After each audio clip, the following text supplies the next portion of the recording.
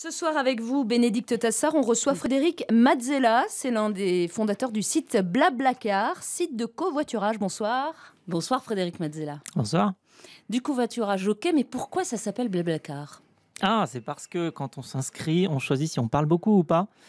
Et donc ça se choisit avec euh, une petite option qui dit si on est plutôt bla, blabla ou blablabla en Ah bah, voiture. Christophe, c'est blablabla. Ah, j'étais Ah sûr. Alors, ah, généralement, ce sont les femmes qui parlent le plus en voiture. Hein Dans ma voiture, mon GPS parle avec une voix féminine. Et ça marche comment alors? Expliquez-nous comment ça fonctionne ce site. Alors c'est pour les conducteurs et les passagers. Donc les conducteurs qui ont des places libres viennent sur le site et les proposent à des passagers qui vont pouvoir partager les frais d'essence et de péage. Et donc euh, en tant que conducteur, on publie une annonce. En tant que passager, on vient et on recherche directement ville de départ, ville d'arrivée, date. Et puis ensuite, euh, voilà, on trouve toutes les annonces et on peut réserver une place dans n'importe quelle voiture à des prix généralement défiant toute concurrence. Parce Donc on euh, économise de l'argent, on consomme moins d'essence, on pollue moins. Oui. Et quels sont vos utilisateurs? C'est quel profil alors? Alors les profils aujourd'hui sont très larges hein, parce que euh, on arrive à une communauté qui a de- donc déjà plus de 9 millions de Vous existez depuis quand? Alors moi j'ai commencé il y a 10 ans, Mhm. Euh, donc ça fait Donc quand même un certain 9 temps. millions, vous dites, de, Ouais, de 9 personnes millions de, de membres Mhm. sur l'Europe. Aujourd'hui on est dans une douzaine de pays. Mhm. On est né euh, depuis la France. Euh, au début on s'appelait covoiturage.fr et puis ensuite on s'est étendu avec le nom Blablacar pour pouvoir justement aller à l'international puisque loin. covoiturage ça marchait pas et puis covoiturage non plus. Arrêt, c'est joli. Oui, bah, enfin, voilà en prononciation. Et il faut s'abonner? Alors, euh, l'inscription est entièrement gratuite. Hein. Et ensuite, euh, donc c'est un partage des frais entre les conducteurs et les passagers. Et puis, le site se rémunère par une commission sur les places euh, vendues à chaque passager. Alors racontez-nous d'où vous est venue l'idée de ce site? Alors, c'est C'est une belle histoire. Oui, oui, Ah. c'est bah, c'est une histoire Ouais. très personnelle. C'est un besoin personnel, puisque en fait, je suis vendéen. Et euh, j'étais à Paris. Je devais rentrer dans ma famille euh, au moment des fêtes de Noël. Et puis, euh, comme je m'y suis pris un peu tard, ce qui m'arrive assez souvent euh, avec mes transports, eh bien, tout était plein.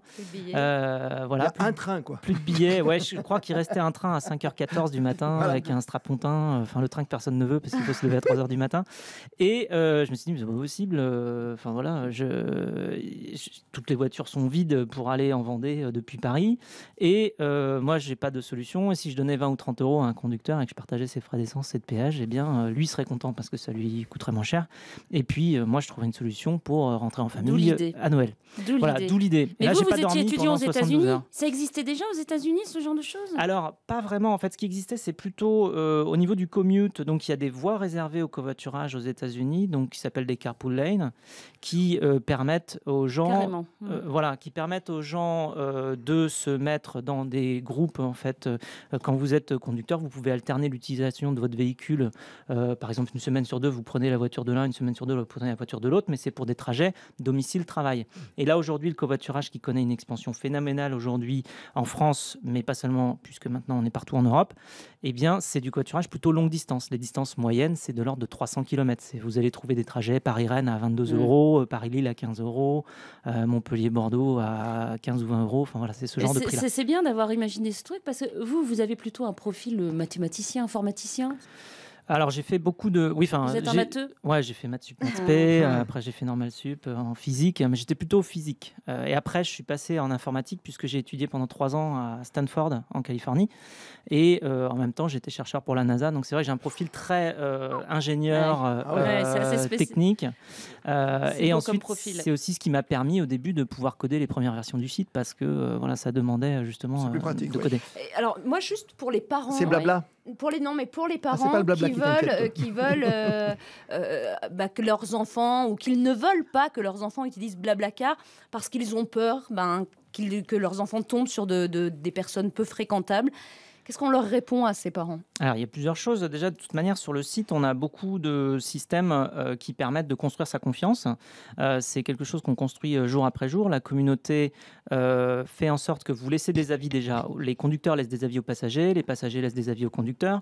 Vous avez, pour chaque inscrit, vous avez la photo, vous avez les adresses IP, vous avez euh, les, euh, le numéro de téléphone portable, vous avez les comptes en banque, puisque les conducteurs euh, reçoivent l'argent directement sur leur compte en banque. Donc, en fait, il y a toute Oui, une tout est traçable. système-là, tous les, tous les voilà. Et puis en plus, il y a euh, tout un service de modération, euh, puisqu'on a une équipe de personnes qui font de la modération euh, 24 heures sur 24, 7 jours sur 7. Alors, par rapport au blabla, euh, ça veut dire que si j'ai envie d'être avec un poète, une poète, euh, un silencieux, une silencieuse dans ma voiture, Si j'ai envie de je, je- je dormir. tape quelle case, quoi, c'est ça je- voilà.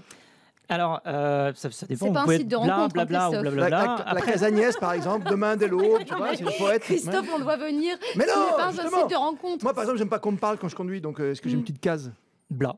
Bla. D'accord. Oui.